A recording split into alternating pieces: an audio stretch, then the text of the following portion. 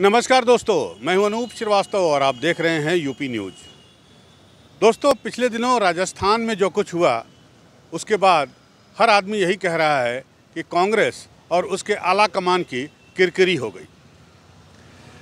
अब सवाल ये उठता है कि आखिर राजस्थान में क्या होगा?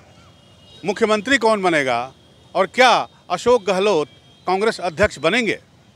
क्योंकि अभी अभी जो ताज़ी खबर आई है हमारे पास, वो ये है कि अजय माकन, जिनसे कल सोनिया गांधी ने रिपोर्ट मांगी थी राजस्थान के के प्रेक्षक के तौर पर जब वो वहाँ गए थे, उसकी पूरी रिपोर्ट उन्होंने मांगी थी। वो रिपोर्ट अजय माकन ने सोनिया गांधी को सौंप दी है। और उस रिपोर्ट में कहा जा रहा है कि उस रिपोर्ट में अशोक गहलोत को क्लीन चिट दी गई है। तो क्या आला कमान जो है, जो ऐसा समझा जा रहा था कि कल तक कि जिस तरह से विधायकों ने जो अशोक गहलोत के समर्थक थे और जिस तरह से उन्होंने जो विधायक दल की बैठक बुलाई गई थी कांग्रेस के पर्यवेक्षकों के द्वारा उसमें शामिल नहीं हुए और उन्होंने अलग से अपनी समानांतर मीटिंग की तो उसको लेकर जो है वो एक कार्रवाई हो सकती है अशोक गहलोत के ऊपर क्योंकि बिना उनकी सहमति के विधायकों की इतनी हिम्मत नहीं थी, मंत्रियों की इतनी हिम्मत नहीं थी कि वो बैठक करते। लेकिन अब जब, जो कि जैसा कि पता चल रहा है कि अजय माकन और केसी वेणु अजय माकन की रिपोर्ट में जो है उनको क्लीन चिट दी गई है और एक फार्मूला तैयार किया जा रहा है। वो फार्मूला क्या होगा? क्या अशोक गहलोत अभी भी अध्यक्ष पद का नामांकन करेंगे? क्योंकि ऐसी सूचना ये भी आ रही है कि अशोक गहलोत ने सोनिया गांधी से बात की है और उन्होंने कहा है कि वो आला कमान के प्रति जो है, वो प्रतिबद्ध हैं। अभी भी उनकी श्रद्धा जो है वो आला कमान के प्रति है। तो क्या आला कमान यानी सोनिया गांधी राहुल गांधी प्रियंका गांधी जैसा कि मानना है लोगों का कि यही आला कमान है कांग्रेस में तो क्या आला कमान इस बात की इजाज़त देगा जो कुछ हुआ पिछले दिनों राजस्थान में? उसके बाद से कि क्या अशोक गहलोत जो है वो फिर से नामांकन करेंगे? और आ, क्या आला कमान के कहने पर वो इस बात के लिए तैयार होंगे कि सचिन पायलट को जो है राजस्थान का मुख्यमंत्री बनाया जाएगा? देखने वाली बात होगी। दो दिन बचे हैं नामांकन में और देखना है कि कौन कौन नामांकन करता है। कुछ नाम और तैर रहे हैं आला कमान की ओर से या आला कमान के जो करीब हैं, जैसे आपका दिग्विजय सिंह का नाम हो गया है और इसके अलावा मुकुल वासनिक का नाम चल रहा है। खबर ये भी आ रही है कि जो कोषाध्यक्ष बंसल हैं, पवन बंसल, उन्होंने भी फॉर्म लिया है। तो अब देखना ये दिलचस्प होगा कि अगले दो दिनों में नामांकन कौन करता है और कौन जो है, शशि थरूर का नाम मैं आपको बताना भूल गया, शशि थरूर भी इस रेस में हैं और देखना ये दिलचस्प होगा, दो दिन में ये पता चल जाएगा कि कौन आदमी अध्यक्ष बनता है। लेकिन सवाल ये उठता है कि जिस तरह से आला कमान के लिए कांग्रेस के जो पुराने दिग्गज नेता हैं, चाहे वो गुलाम नबी आज़ाद हों और चाहे वो उत्तर प्रदेश से रीता बहुगुणा जोशी हों और चाहे वो माधवराव सिंधिया के बेटे जो हैं ज्योति राजे सिंधिया हों मध्य प्रदेश से, जिस तरह से लोगों ने कांग्रेस को छोड़ा पिछले दिनों में, उससे आला कमान की कार्यशैली पर सवाल उठ रहे हैं। जैसे पंजाब की बात करें, पंजाब में इन्होंने चन्नी को मुख्यमंत्री बनाया, कैप्टन अमरिंदर सिंह को किनारे हाशिए पर लगाया और लेकिन उसके बाद पंजाब में क्या हुआ, ये आप देख सकते हैं। तो इस बारे में बात करने के लिए हमारे साथ मौजूद हैं उत्तर प्रदेश कांग्रेस के पूर्व प्रवक्ता जिशान हैदर, जिनसे हमने पूछा कि आखिर कांग्रेस में आला कमान क्या है, उसका रोल क्या है, क्या डिसाइड करता है, किस तरह से वो काम करता है। क्योंकि जिशान हैदर ने जब इस्तीफ़ा दिया था चुनाव के बाद तो उन्होंने सीधे सीधे आला कमान की कार्यशैली पर ही उंगली उठाई थी। तो आइए सुनते हैं जिशान हैदर को कि इनका आला कमान के बारे में क्या कहना है, जो कि कभी कांग्रेस के एक बहुत ही अच्छे प्रवक्ता माने जाते थे। देखिए राजस्थान में जो कुछ हो रहा है, उसको लेकर कांग्रेस के आला कमान पर सवालिया निशान उठ रहे हैं। अशोक गहलोत का जो होगा, सो होगा, लेकिन कांग्रेस की नेतृत्व क्षमता पर भी अब सवाल उठने लगे हैं। क्या कांग्रेस को इस बात का अंदाज़ा नहीं था कि अशोक गहलोत के मन में क्या है? जबकि अशोक गहलोत को वो कांग्रेस का भावी अध्यक्ष बनाना चाह रही थी। तमाम राजनीतिक दल, चाहे वो बीजेपी हो या कोई दूसरे दल हो, सब आला कमान पर उंगली उठा रहे हैं। संबित पात्रा को आपने देखा होगा आला कमान आला कमान आला कमान आला कमान इस तरह की वो टीवी के डिबेट में रट भी लगा रहे हैं। तो आला कमान क्या है कांग्रेस का, और उसका क्या रवैया होता है अपने पार्टी के कार्यकर्ताओं और अपने पार्टी के नेताओं को लेकर, इसको जानने के लिए हम इस वक्त खड़े हैं। लखनऊ में और हमारे साथ मौजूद हैं जिशान हैदर जो पहले कांग्रेस के प्रवक्ता हुआ करते थे काफ़ी तेज तरार आदमी हैं उर्दू इंग्लिश हिंदी सब काफ़ी बोलते हैं और इन्होंने आला कमान के खिलाफ बगावत का बिगुल फूंक दिया और कांग्रेस से इस्तीफा दे दिया है। तो आइए इनसे जानते हैं कि आखिर आला कमान है क्या कांग्रेस में? क्या उसके मंशा क्या है उसके इरादे क्या हैं और किस तरह से वो पार्टी कार्यकर्ताओं के साथ व्यवहार करता है और किस तरह का उसका वो है? तो जिशान भाई आपका बहुत बहुत स्वागत है यूपी न्यूज़ में। धन्यवाद बहुत बहुत धन्यवाद जिशान भाई, सबसे पहले तो हम ये जानना चाहते हैं कि आला कमान कांग्रेस में क्या है?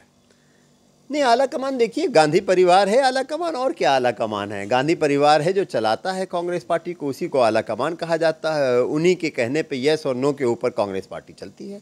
तो वो एक तरह से बटन है यस और नो के। तो बटन दबा देते हैं तो यस हो जाता है बटन दबा देते हैं तो नो हो जाता है। कांग्रेस में एक पत्ता नहीं हिलता है आला कमान के बिना। राहुल गांधी और प्रियंका गांधी के बिना। लेकिन राहुल गांधी तो कहते हैं कि साहब अब अध्यक्ष उनके ऊपर प्रेशर डाला गया कि आप अध्यक्ष बन जाइए लेकिन उनको नहीं वो उन्होंने मना कर दिया। अगर उनको ऐसी इच्छा होती तो आसानी से वो अध्यक्ष बन सकते थे। क्या राहुल गांधी दूध पीते बच्चे हैं? आपको लगता है कि राहुल गांधी आपने भी देखा है आपने भी पचासों इंटरव्यू लिए हैं उनके। अमेठी, मुझे याद है, आप अमेठी जाते थे, उनके पीछे राहुल जी जब शुरू शुरू में आए थे, और वहाँ पे आपने भी उनके पचास बार इंटरव्यू लिए हैं, आपने उनका एटीट्यूड देखा है, आपने देखा है वो किस तरह से कार्य करते हैं। आपको लगता है कि राहुल गांधी के बिना कांग्रेस में आज भी, देखिए, इनको डिफेक्टो सीएम चाहिए। आप समझिए, इनको डिफेक्टो सीएम चाहिए, इनको डिफेक्टो राष्ट्रीय अध्यक्ष चाहिए। इनको ऐसा अध्यक्ष नहीं चाहिए जो कार्य कर सके। ये ऐस, किसी अध्यक्ष को पावर नहीं देने वाले हैं। वो तो इतना ज़्यादा इनके ऊपर सवाल उठाए गए थे, क्योंकि जब से राहुल गांधी बने थे, सिर्फ़ हार ही रहे थे। पूरे देश के सारे विधानसभा लगभग हार गए थे, लोकसभा दो दो बार हार गए थे, कांग्रेस की बद से बदतर स्थिति होती चली जा रही थी, उस प्रेशर में इनको इस्तीफा देना पड़ गया। अब इस्तीफा देने के बाद इन, अब आप बताइए, ढाई तीन साल से आप सोनिया गांधी जी लगातार जो है एंट्री में अध्यक्ष बनी हैं, और आज आप चुनाव करा रहे हैं तो चुनाव में भी आप जिसको इशारा कर रहे हैं वही पर्चा ले रहा है।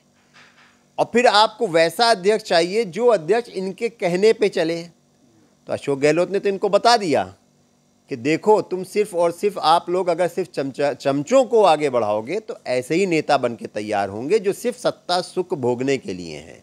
इनको लगता था कि अशोक गहलोत बहुत इनके यसमैन हैं।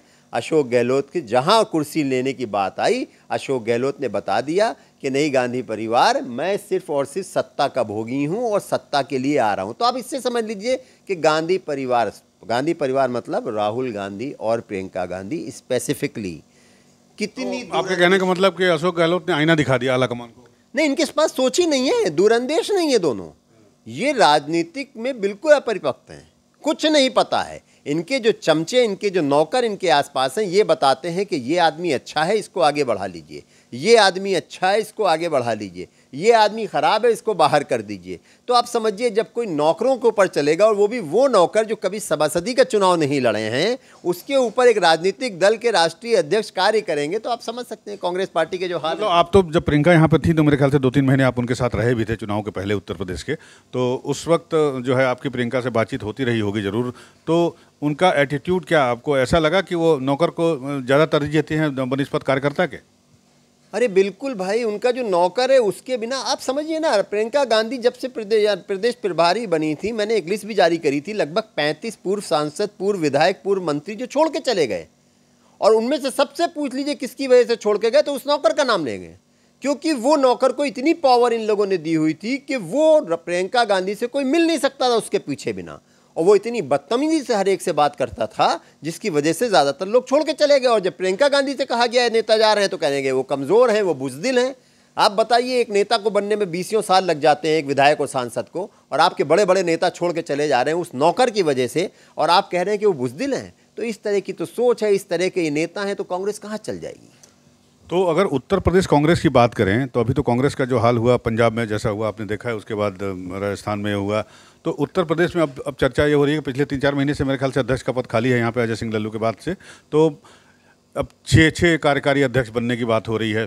तो क्या ये फार्मूला काम कर पाएगा उत्तर प्रदेश में कि छः छः कार्यकारी अध्यक्ष जो है, उनको जोनल वाइज बनाया जाए?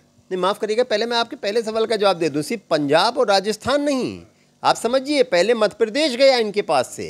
उससे बाद अभी गुजरात गोवा में सब लोग इनके पास से चले गए। तो क्यों छोड़ के जा रहे हैं? ये इन भाई बहन की वजह से ही तो जा रहे हैं। और कोई दूसरा रीज़न नहीं है। जहाँ तक छः अध्यक्षों की बात कर रहे हैं छः नेता इनके पास हैं, कहाँ आज की डेट में प्रदेश में जो छः अध्यक्ष लेके आएँगे?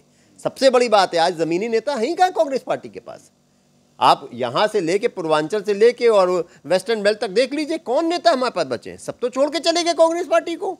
आपने तो वीरान कर दिया कांग्रेस पार्टी को आते ही प्रभारी बनते ही प्रदेश के अंदर। और आप छह नेता बना दे, चाहे बारह नेता चला दे, रहेंगे आप सिफर के सिफर ही।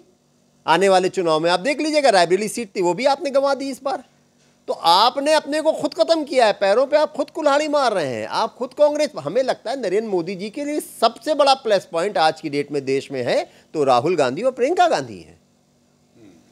उनके लिए कार्य करते हैं ये दोनों। तो ये थे जिसान हैदर, का आपने सुना इनको। काफ़ी नाराज़ हैं कांग्रेस के आला कमान से, और इनका कहना है कि जो कांग्रेस का आला कमान है, वो बेसिकली राहुल गांधी और प्रियंका गांधी है, जिन्हें भारत की ज़मीनी राजनीति का कोई एहसास नहीं है, कोई ज्ञान नहीं है। कैमरामैन अमन वर्मा के साथ अनूप श्रीवास्तव, लखनऊ।